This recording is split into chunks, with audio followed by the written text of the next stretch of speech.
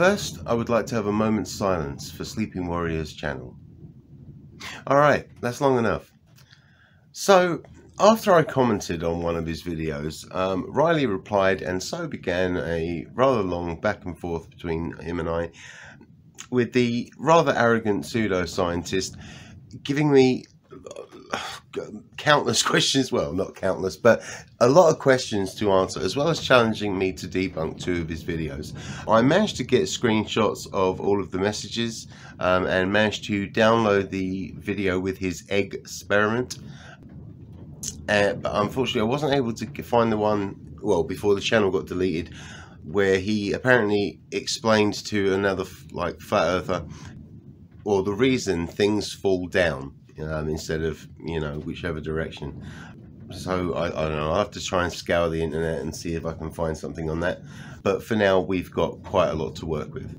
I will explain for his benefit why we know gravity is real, a few things that, that prove it, and sort of go into the some of the reasons why his experiment is definitely pseudoscience.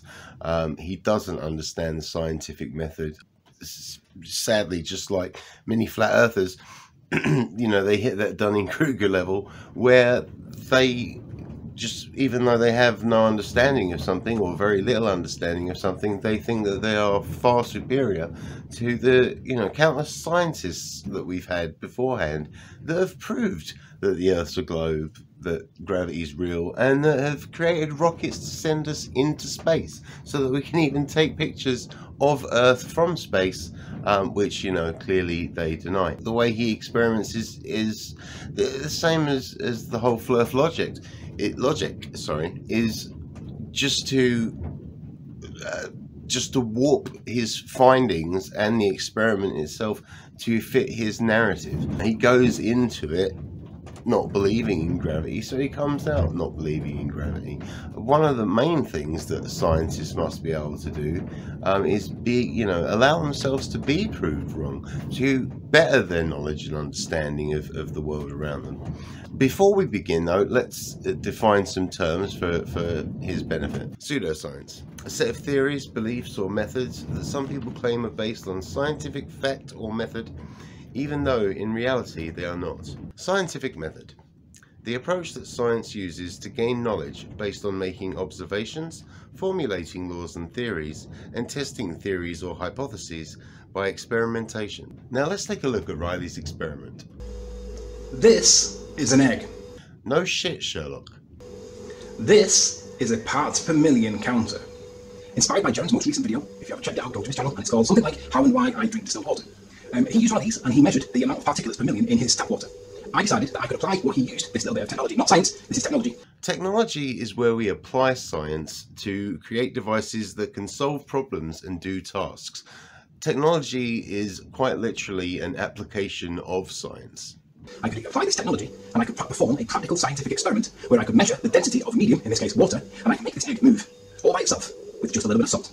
All by itself, but with something else. Clearly, Riley does not understand the exact mechanics of his experiment, um, but let's get to that in a little bit. I can observe my phenomena to be that some objects appear to float, some objects appear to sink, some objects will suspend in different mediums. Kind of, but not really, as you're only testing it with the egg and um, not testing it by submersing any other object. My hypothesis is if I change the medium's density, the egg will move. Newton said if an object moves, a force is present. And that force is da, da, da, gravity. Gravity comes from the Latin word gravitas, meaning weight, and is the natural phenomenon by which all things with mass and energy pull towards each other.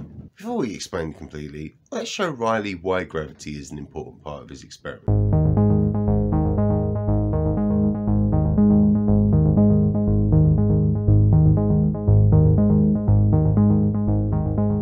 This year at the RI has been very space themed. And so we're making a very special demo film for you today where we're looking at all the fun little experiments that they've done aboard the ISS. To recreate a spacey, weightless environment, we took a page out of the astronaut training book and sent Kevin Fong, this year's Christmas lecturer, on a parabolic flight. Parabolic flight can create pockets of weightlessness by going into a free fall mode. And we wanted to look particularly at how water behaves in microgravity. The major force acting on water in microgravity is surface tension. In a drop of water, you have molecules that are being pulled equally in every direction by the molecules that surround them. The water molecules on the surface of the droplet don't have water molecules surrounding them on all sides, and so they're pulled inwards towards the center of the droplet. This imbalance of forces creates an internal pressure that forces the molecules into a shape that has a minimum surface area while maintaining a cohesive surface. This also explains why droplets are round. The spherical shape minimizes the surface tension needed, as described by Laplace's law. The effects of this force on Earth are relatively weak because gravity counteracts it quite strongly. In space, however, surface tension really comes into its own. For the first one, I have this wet towel. So you can see it's quite wet, but when I wring it out, all the water leaves, and it's left pretty much dry. But in space, it's a little bit different. You can see Kevin wringing the towel while floating in midair. But the water isn't behaving like we just saw. Instead, it's bunching around his hands, and occasionally small globules break free when he shakes his hands. Without gravity to pull the water downwards, the surface tension keeps water adhering to itself and turns it almost into a gel-like substance that clings to most surfaces. Water is quite special in this regard because it clings very strongly due to its hydrogen bonds. So this second demonstration is an excellent study of fluid forces. What I have here is a beaker filled with water and a ping pong ball floating on top. Now, it's pretty obvious that the ping pong ball would be floating because it's filled with air, and air is lighter than water. But the question is, what would happen in microgravity? You might expect that everything would move upwards, but the reality is much cooler. The ping pong ball is covered in a layer of paint that makes it hydrophilic. This means that it's wettable, and so the water wants to creep over the ball. When we remove gravity from the equation, the ball sinks into the water. So as you just saw, water does some incredible things in a weightless, space-like environment. Gravity pulls masses towards each other. Just as the Earth pulls things towards its centre of mass, so too do objects on Earth exert their own gravitational pull. This includes us. However, because the Earth is so massive, its pull of gravity far outweighs the pull of everything else on Earth. Gravity even pulls the atmosphere towards its centre. Without it, the air we breathe would begin to disperse into the realms of space. Um, the water that is held to our planet in the forms of um, oceans, rivers, lakes, etc., would move away as well. And then the planet itself would begin to break apart as there would be nothing to counteract the intense pressures at its core. This experiment shows that without gravity there is nothing to put density into its place. Um, gravity is what pulls the denser objects down and even creates the buoyant force to send the lighter densities up. Um, they don't literally float away more as being pushed up by the atmosphere that is sort of pulled down around them. Um, relative density cannot exist without gravity and sadly this is something that Riley will never admit to because his entire belief and model, or lack thereof, would fall apart if gravity was real. My null hypothesis is that if I change the if I change the density of the medium, the Earth will not move. I will activate one of the hypotheses. I believe you meant to say hypotheses. My independent variable, my presumed cause that I must manipulate in an experiment, is the density of the medium. My dependent variable is the movement of the egg. I will also try and keep everything else constant. The volumes of water, not will change, just the density of the medium. Let's see how I'm going to do this. This is my egg. This is my parts per million counter. This is going to measure the parts per million of both these fluids. This is tap water, regular tap water.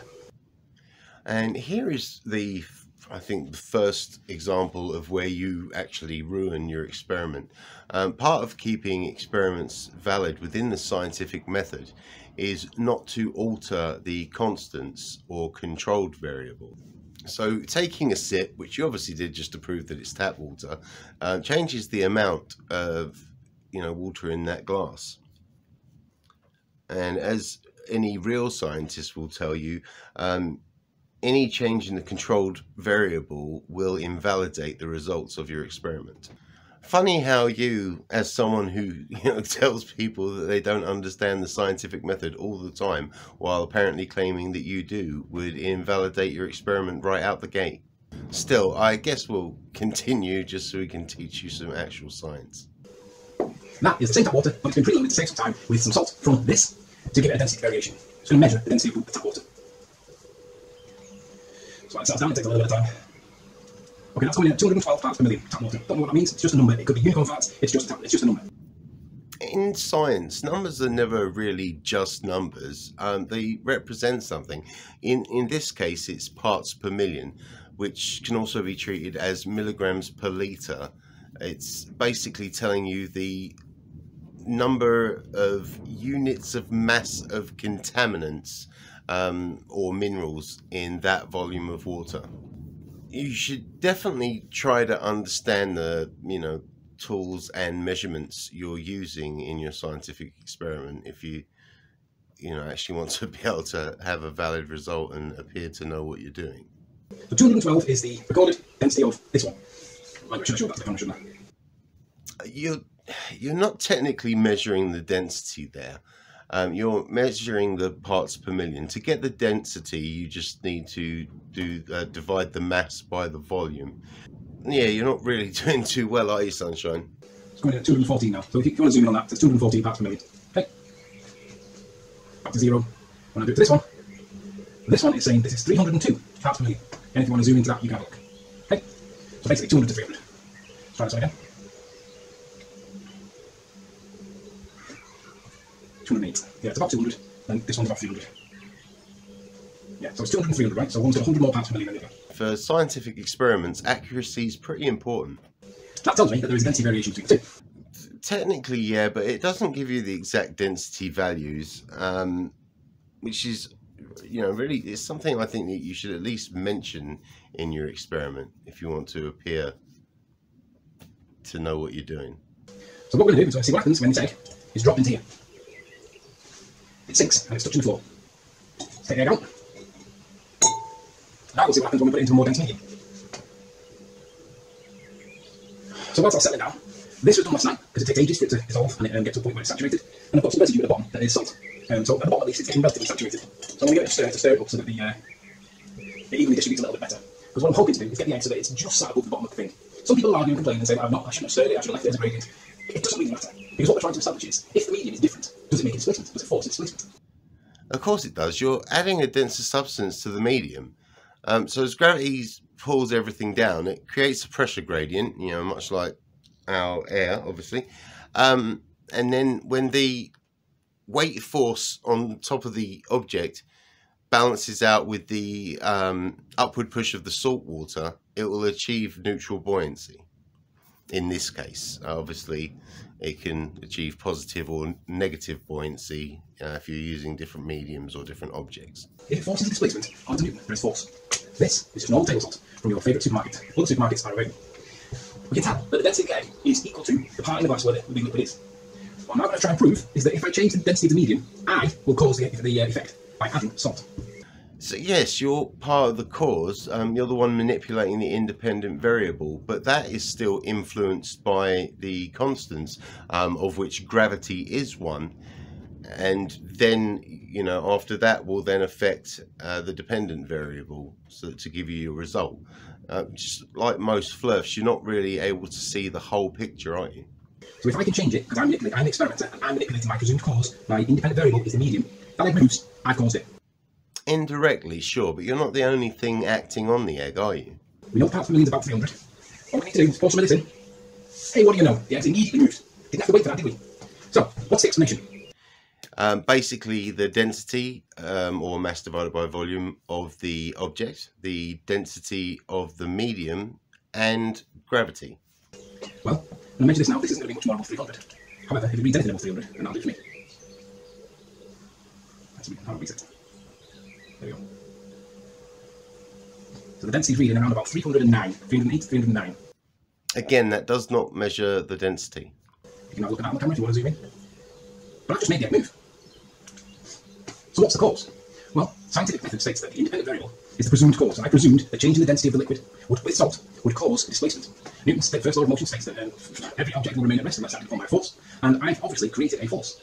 Wrong. You've changed the medium that gravitational acceleration is acting upon. Gravity is the force in this experiment. The density of the medium has displaced the egg. The egg moves. That's accelerated mass. So therefore, Newton says that there is a force. I cause it with this. So this is the Wikipedia for gravity, um, which Riley has used multiple times, so we're going to use it as well, just to keep things fair. Um, so this is what Riley normally looks at. Um, I'm imagining he read this bit and didn't read further because, you know, he seems to stick with gravity not being a force. And um, obviously, it seems like with most flat earthers, once they find something that fits their narrative, they don't uh, research it any further. So as we can see here, gravity is most accurately described by the general theory of relativity proposed by Albert Einstein in 1915, which describes gravity not as a force, but as a consequence of masses moving along geodesic lines in a curved space-time caused by the uneven distribution of mass. But if he'd only looked a little further, However, for most applications, gravity is well approximated by Newton's law of universal gravitation, which describes gravity as a force causing any two bodies to be attracted toward each other, with magnitude proportional to the product of their masses and inversely proportional to the square of the distance between them. It does act like a force. And so because of this, we can still use Newton's definition of gravity. So in, in this case, gravity is the force. So in scientific, in scientific method, the cause of the displacement is this. I caused it. I manipulated it. I added the salt. It's caused something. I did it. I'm within scientific method. Sure, but you are completely misunderstanding the scientific method. If you assert that gravity in any way caused something in this experiment, that means you are adding a secondary cause so for the purposes of the you know the scientific experiment the for cause and effect cause is is really just the independent variable being changed. Um obviously you know the the the constants do cause stuff to happen but you know we don't really we don't really call them the cause in the experiment because you're not manipulating them. Um, in this case gravity, grav the gravitational acceleration is a constant because it's not being changed. You can have gravity as an independent variable if you were to conduct the experiment, uh, the same experiment at different altitudes.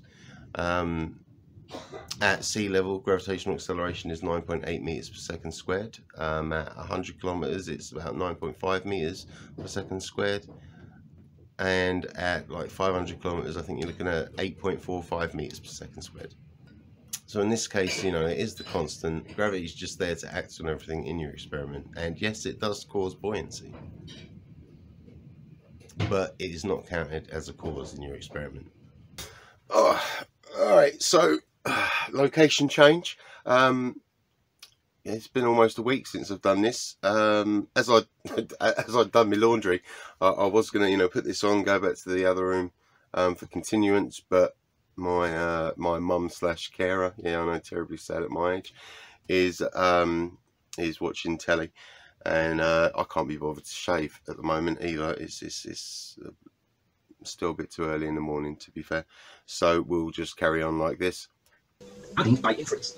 If you add a secondary cause by inference, you fall outside of scientific method because you can't infer an extra cause when you've already got one that you've manipulated. You can't infer a secondary cause and remain inside, within scientific method. Um, I think this is where you confuse yourself. Um, you know, because because you have no understanding of the scientific method um, clearly, and because you know on on your idea of Earth, gravity really wouldn't work. So you have to choose to believe that it's fake, just like space and because you ignore gravity, um, you, you, you ignore it as a controlled variable or a constant, and um, therefore you fall into pseudoscience right from the get-go. If you wish to move outside of scientific method, sure, be my guest. Infer that gravity caused in any way whatsoever the effect that we just witnessed, which was the egg moving. But you do so outside of scientific method. And we know by definition, if you are not complying with scientific method, you are practicing pseudoscience. We don't but you've been there all along. I am staying within scientific method, and I am using my cause and my effect relationship, and I am demonstrating it with using this. I've changed the density of the medium, and the egg has displaced. Within scientific method, the cause is that and only that. You cannot infer extra causes.